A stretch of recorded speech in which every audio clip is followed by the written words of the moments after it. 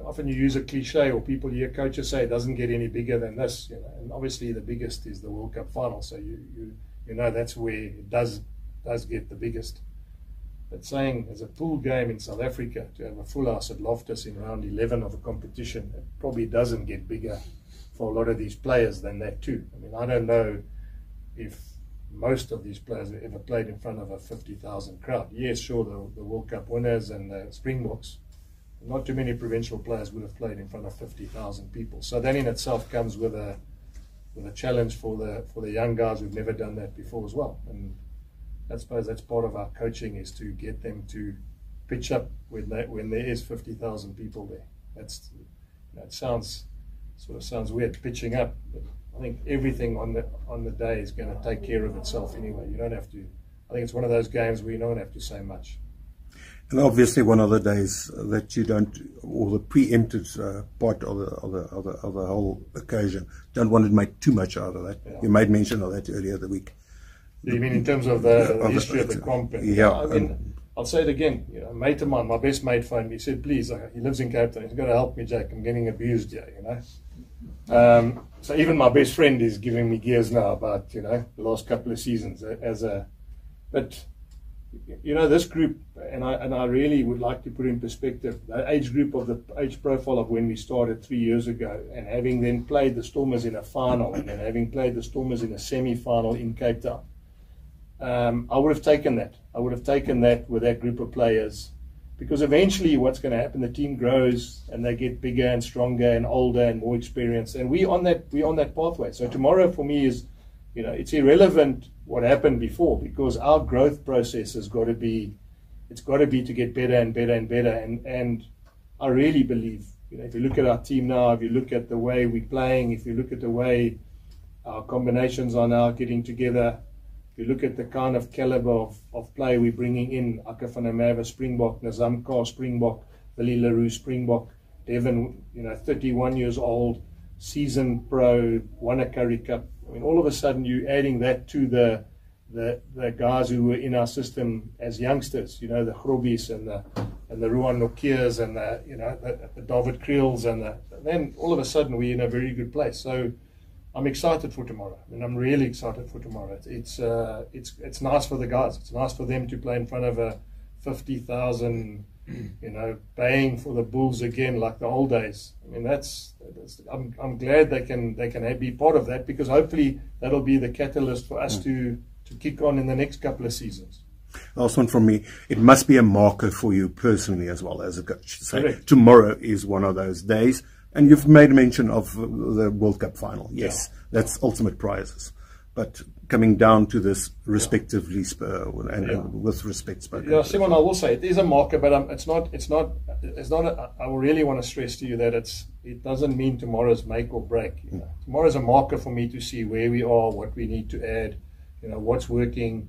You know, and, and there's a lot of things that are working. And what I'm saying, so I'm, I'm not looking at the glass half empty. I'm looking at the glass half full. Where we were and where we are now is like chalk and cheese. You know, and does that mean that that that we'll win because we're better? You know, there's no guarantees in rugby. You know, they also they also got a good team, and you know, people say. You know, you lost X amount of times to the Stormers. Well, you know, guys, not many teams have beaten the Stormers in the URC in the last two seasons. Not many, and a lot of them with international players. And uh, know, and and they've been the form team. I mean, Leinster have won 95% of their games the last two years, haven't won a trophy. In fact, they've even played in the final the last two seasons. Now, that just puts things in perspective for me. Um, but isn't it a wonderful thing that two sides in South Africa get 50,000 people to a pool game? I mean, gee, guys, I mean, for me, then. Then, I'm, then I think the players and the people involved are doing their they're doing their bit for rugby in South Africa. Jake, it's obviously injury enforced, that the big call you have Reinhardt at seven, Reinhardt Ludwig at seven. Yeah, not really. I mean, I, I, you know, again, um, I remember when I made Ruan Nortje captain, everyone said to me, geez, Jake, you know. But Reinhardt Ludwig has played seven for us. Mm. He hasn't played as well as I'd like him to, but yeah, it's a different combination now. Um, he's a bit older. He's a bit like you know, you know, people don't want to ever make comparisons because some players are phenomenal. I mean, I coached Pieter-Steph du Toit and I moved him to seven when I was at the Sharks and he was a youngster. And I remember when he moved to seven, people asked me the same question. Isn't it a big call that he goes to seven? He yeah. then became the best player in the world. and he's won two World Cups, and he was player of the match twice in World Cup finals. So I've seen this movie before, you know, and yeah, he might, you know, he might struggle a bit tomorrow. I'm sure, you know, it's a big game, fifty thousand people, youngster, but I'm, I've got full faith in him. You know, there's a lot of things he's going to add to us. He's very clever. Yeah. He works incredibly hard. I mean, he's got a work rate, you know. He's uh, he's not slow. I mean, people, you know, as a loose as a loose forward, he's, he's relatively quick. Even though, you know, as I said, he's a, got a lock playing loose forward. He's relatively quick. And the thing I really enjoy about him is he's got game awareness and intelligence. He knows he picks up things quickly, doesn't make mistakes. You know, he's uh, he's that sort of guy. I'm glad that he can play with a guy like Marcel and, and Marco because it seems like a nice combination. Yeah, I, I think I'm quite excited to see what it looks like. You know, and it puts pressure line-out wise. you've got two two meter, you got three two meter guys in the line-out now. You know, so it'll be interesting to see how much pressure we can put on the on the on the Stormers lineup. But you obviously miss a guy like Elrigh Louw. I mean, he's mm. such a good ball carrier. Mm. Uh, well, that's why I didn't pick him because with the shoulder like mm. it is, if he can't do that, which is good at, which is just ball carrying, it's highly unlikely that he can add. And I don't mean a nasty to him, mm. but his strength. His, you take his strength away, you know, we, we lose something. You know, so yeah, I mean, it's it, it, it's as and again, because you never really have your best 23. I mean, when I was coaching the Springboks as well, you know, when you get Monty back, you lose Jean de Villiers. When you get Jean de Villiers back, you lose Burger. You know, you get Bakkies back, you lose Danie Rossouw. You know? So you never really get. As you get as you get longer and older in this job, you realise that. And you know, I, I really don't want to. But I mean, Elrigh, to be fair, you know, so he's played in all these games and has never really been the best player on the field in these game, in this game, this particular game. He's dominated against. So maybe who knows? Maybe that combination for us is sometimes by default it works and it actually works better on that game and that opposition than it was. But we've tried the other one. We've tried with that other combination. Except for soccer, because I don't mean it like that. Yeah, yeah. I'm saying sometimes, you know, I remember one of the most amazing stories. I was with Nick Mallett in, in France, and Justin Swart was the fullback. And we went to captain's practice, and the non playing guys were went shopping. And Monty arrived back from shopping with wobbles of bags, you know, uh, Ralph Lauren and, you know, and all the top brands. And at the captain's practice, Justin Swart pulled his hamstring. So Monty went from shopping into the starting lineup and he played 100 tests after that, you know. So sometimes just shows you, you know, sometimes you, by, by circumstance, a guy comes in and, you know, he played 100 tests, won a World Cup, you know what I mean? So sometimes you need, sometimes you need things to bounce in your favor. And who knows, maybe Ludwig shows tomorrow that he's, that he's talented enough to play in a combination as a seven flanker. Just just tomorrow, how key will be sort of the leadership group and the Springboks again, you know, making sure that keeping the other guys caught in front of that huge crowd. So uh, that's that's not the reason, but one of the things I get comfort out of is that if you have der on your bench, Nizaam Carr on your bench, and you have Willie le Roux on your bench, when we finish with those guys on the field, you're talking about three experienced Springboks that are going to be in the back end of a, of a game when, when could be, you know, it could be tight at the end when it and it generally is. You look at the games, it's like there hasn't been too many many blowouts against us in the last couple of years. It's always been very close, like a one score. So to have the leadership which we have, but also to have the experience of those three Springboks coming off the bench um, is going to be vital for us. Um, so I get, if you all see what happened last time we played the Lions, Akker came on, made a massive impact. Goosen came on, made a massive impact. Um, it's a wonderful thing for me to have three Springboks on the bench. I'm not taking it away from the other players. But you've got guys, Nizaam's been a captain, so he comes on. Akker has been, you know, been a Springbok. He understands pressure. And, uh, you know, as I said, and Valley's won two World Cups. So it's going to be nice when the 50,000 and you've got him at the back end of a game when he can control everything. I mean, is that testament to the depth that you wanted to create? Yeah. Well, it's closer. It's closer. It's not where I want to be, guys. I mean, you. I said to you, I still would love to get all the main players for South Africa back to South Africa, but I mean, if we've got the squads we've got now and we're getting 50,000 people, imagine if we had RG here tomorrow and if we had Jason Jenkins here and Jesse Kriel here and, you know, and I'm only using Pollard and the guys who played at the Bulls. Imagine if we had those guys still here. I mean, it would be, you know, as I said, could be even bigger if it could be. Could be even bigger. just finding that balance between nullifying the stormers from what they do good and also again you guys doing what you do best. How do you guys find that balance to? Yeah, I wish I knew that answer because that's the secret. You know, Simon asked, tomorrow you got to pitch up. Yeah, and, and, pitching up doesn't mean physically. Pitching up means you've got to come with your game head on. Um, we've lost to them a few times, and the times we've lost to them, it's almost been through through an inexperience of understanding what's happening around you. You know, so and it's sometimes the sometimes the good players. It's not, as I said, it's not always the inexperienced guys who've done it. It's sometimes, you know, if you look at the last game we played, we dropped an up and under. They caught it out the air. They went and scored.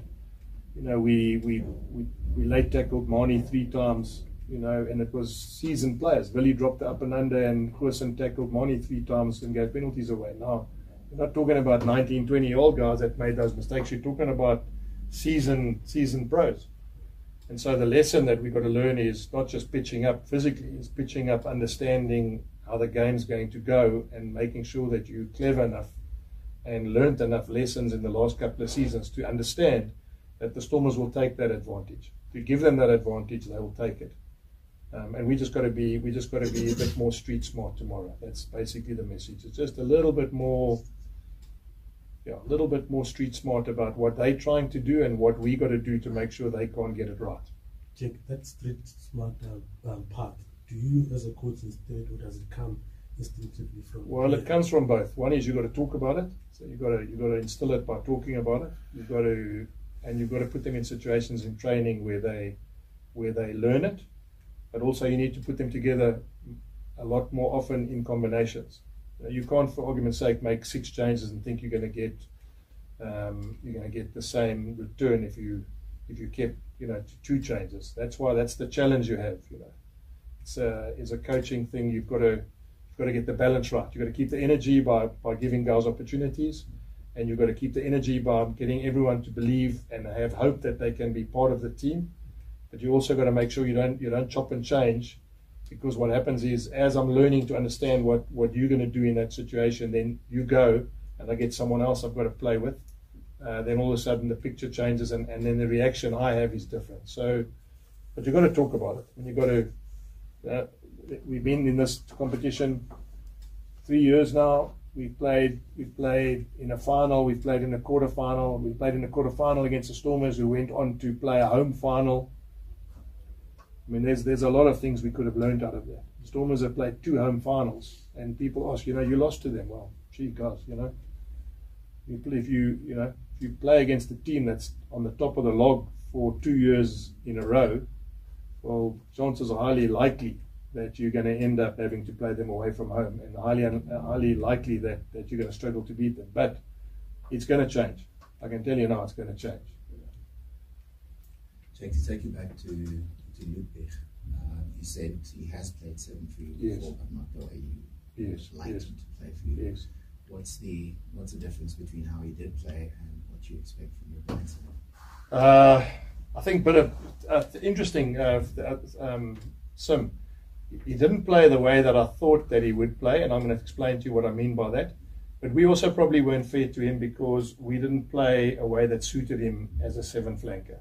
Okay, so um, for two reasons. One is the combination he played in probably didn't suit him. I'm talking about so when we did put him at seven.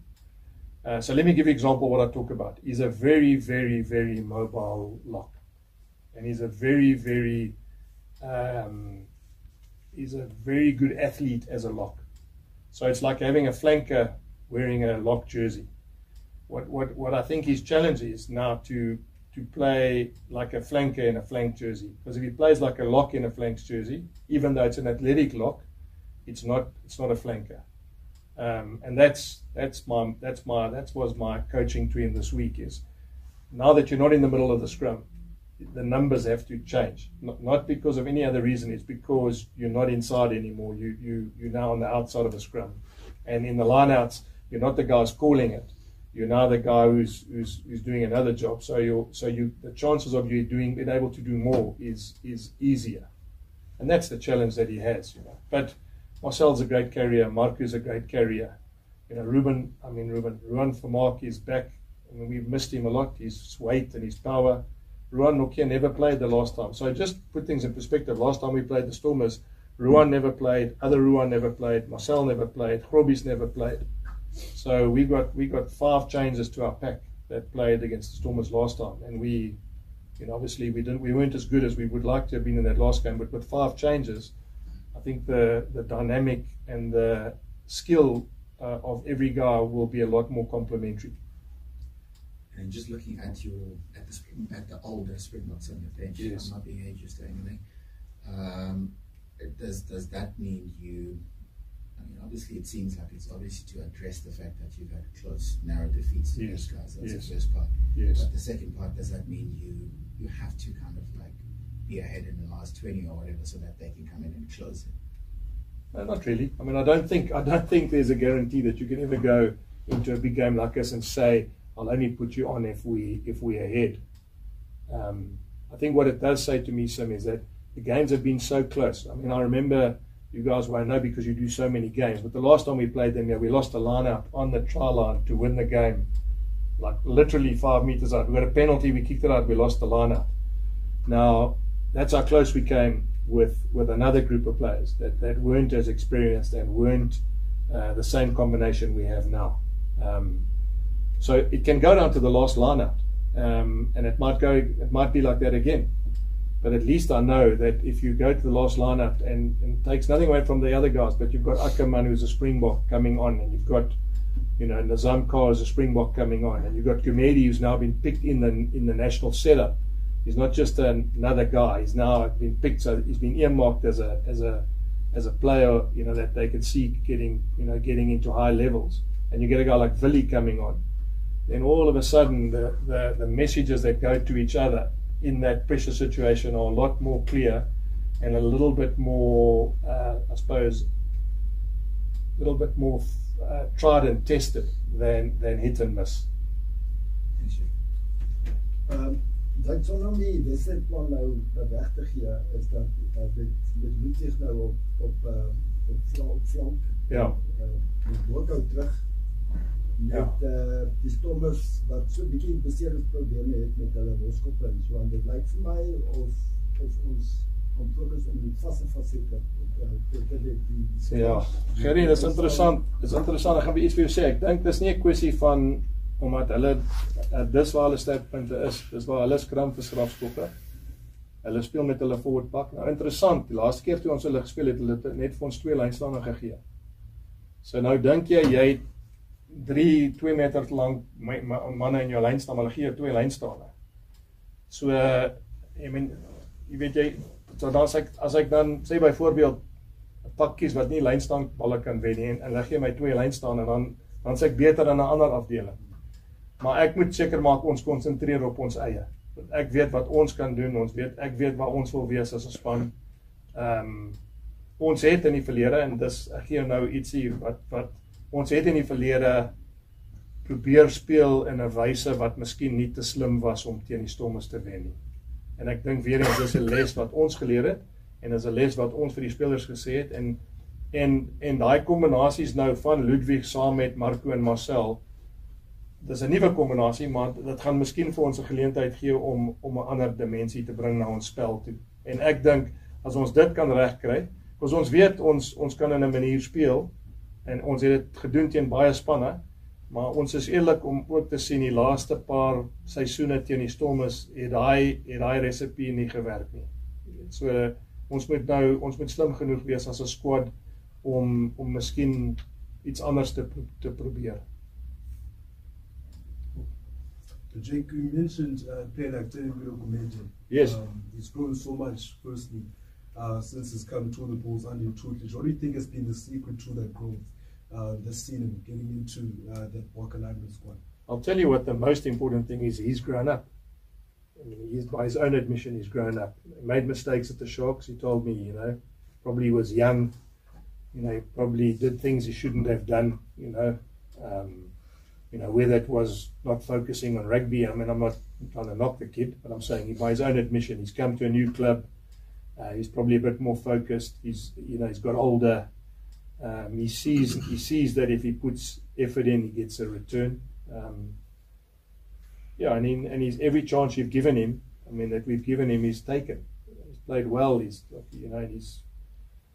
So I think the most important thing for him is he's he's grown up. He's, he's you know, as I said, he's even admitted to me he's had to make some changes to the way that he trains. He's made changes to the way that he looks after his body, you know, all that sort of thing. And I mean, he's now a genuine, genuine athlete, and he's young. You I asked him today how many times you played in front of a full crowd. He said never. So again, there's something that I'm not talking about DHS versus college when there's 5,000 people. I'm talking about, uh, you know, and he said never. So it just shows you another another thing that he can tick on his on his on his growth process process is playing in front of a big crowd as a as a professional rugby player, and it's not underestimated. It's daunting for a guy, man. Daunting for anybody. Doesn't matter. Doesn't matter. You know how many times you've done it. To play in front of a full house crowd and it's fifty thousand, and you know, and it's. Uh, you got you got to learn to do that too. And, and with that in mind, how, how tough is it to have to explain to him the change that you've made this week by bringing uh, Reinhardt Ludwig into that number seven yeah. jumper and telling him that Luke is for the better of the team? How yeah. tough is it to have to make him and other players in the blue sports didn't get a chance? Yeah. Just to understand. No, look, I think I, I, think it's easy. It's easy if you're honest. I mean, uh, there's no agenda. I mean, I'm honest. I said to him, I think that's what I think we need to start with. You can come on you know, when you come on, you're coming on with Akker, you're coming on with Nizaam, and you're coming on with Willie, you know, with Willie. Uh, I mean, so that it's not, you know, it's not, it's not a case of, you know, it's not a case of because you come, you know, because you're finishing the game, you are less important than someone who's starting the game. You know? And there are going to be games where I'm going to start him. You know, so I think the one thing which we're very good at, and I'm saying as a group, is being honest with each other. If he's not happy, he'll come and tell me. You know, but if, if I'm honest with him then then he understands. So there's no there's no he, he's very happy that he's part of the 23. He's very happy that he that he can contribute, and and he's no different to. I mean, imagine Villies won two World Cups, he's sitting on a bench in the biggest game we've had this year. But you know, it doesn't mean that, that he's not rated. It just means it's what we think is in you know what's needed. We've got a we've got a, a philosophy here at the Bulls. We we do what is needed to win the Test match, you know, and and or the game. And tomorrow is a test for us, and we need to do what we need to do. All of us need to do what's needed to win.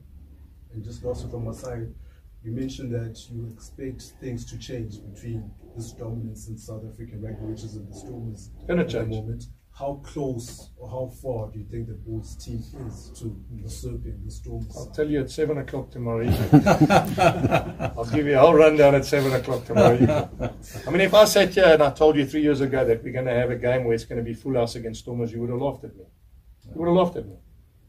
So, how far have we gone? Well, geez, in three years to go from where we were to having a full house in our stadium is a hell of a way. There are not many unions that have done that. And that's credit to them. So, you know, how good we're going to be. Look, I'm excited, guys. I can see we it's, it, we can't ask for more. 50,000 at home, must win game with a squad that's determined to do well. I mean, that's the measurement that I can put, that we can put on the table. Only way we'll know whether we're good enough is at 7 o'clock tomorrow night. And if we're not, well, then we know we've got to get better. You, know. you guys follow Formula One? Yeah. Hmm. Red Bull are dominating. You know. It wasn't long ago before Mercedes won everything. So it's going to change. As sure as I'm standing here, it's going to change. You know.